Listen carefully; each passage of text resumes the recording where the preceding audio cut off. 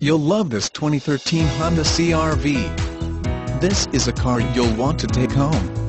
With zero miles, it features automatic transmission and an exterior color of alabaster silver metallic. Call us and be the first to open the car door today.